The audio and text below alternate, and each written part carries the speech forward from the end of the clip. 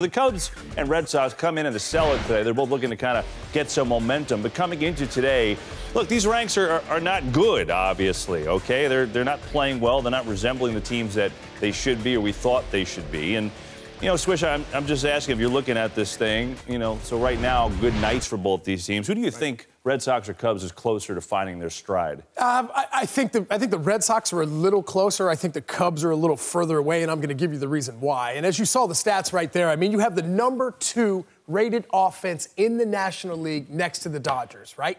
But the problem is you have the worst ERA in the National League, right? So here's the thing. If you're scoring and you're producing at such an high offensive numbers as you are now, by the way, and guys like Rizzo, Bryant, and Schwarber aren't even hitting, right? But the problem is, is with these starting pitchers, if they are able to get the job done, the Chatwoods, the Darvishes of the world, the Quintanas, if they're not going to be able to get it done, right? And there's some no-name guys in the back end of that bullpen. Morrow's still on the DL. No one down there that shut games out. If you're getting such great offensive numbers and you're getting bad pitching, that just doesn't seem like that's moving in the right direction. And to your point on Bryant, a 688 OPS right now.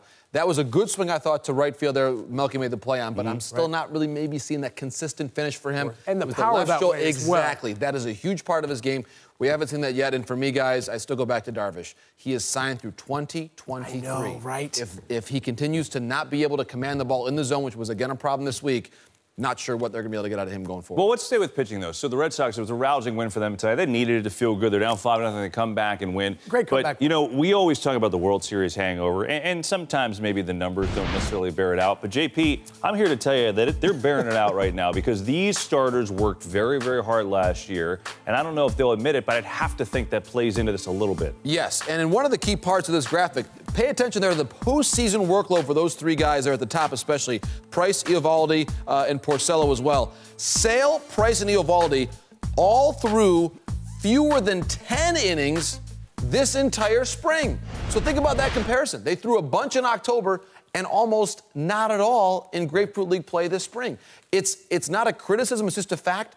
They're not fully ready. Yeah. They're not fully ready. They tried to be creative with the way that they right. prepare them for the season, Nick, but you can just see in the way they're pitching right now, yeah. And especially, especially this year, he's just not quite where he needs to well, be. Well, 100%. And that's the thing. When are they going to be ready, right? If this is still considered spring training time for them, how long is it going to take them to get ready? A month? A month and a half?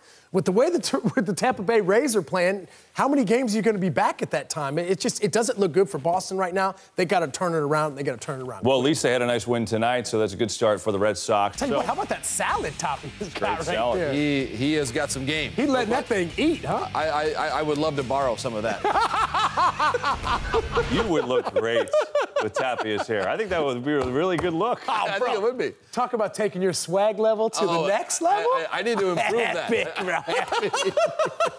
Quote of the year, JP. I need to improve that. that's what he said. Come on, JP, your swag. We got it, bro. We and got that's it. That's why you have all the info. So, like, so we'll start here. Giants. Mm-hmm. Look, they're. Uh, they're probably not going to have the greatest year, right? They're, they're, they're kind of a team in, in transition right now. They're trying to figure it out. They got some some issues, but they also have one of the greatest postseason performers of all yes. time in Madison yeah. Bumgarner. And I'm going to ask you, are they finally going to make a move to trade him this year? I believe they will. And certainly the relief pitchers, I would say the likes of Dyson, Watson, they're probably going to be moved without much trouble. But Bumgarner is going to be a difficult, emotional decision, I think, Kevin, for the Giants, but it's the right decision to trade Madison Bumgarner. There, there, were a lot of conversations during the course of the offseason. Uh, the Phillies were one team that I was told already has been doing due diligence, looking at his starts, maybe even looking at him during spring training to make sure they have all their information current. Uh, the Phillies, of course, they, they, were able to make some some aggressive moves in the wintertime, as we well know, to bring in three All-Star position players. But they've got that one need for that lefty starter. Right. And if you're going to go all in, Nick, on one year to make a to make a World Series run,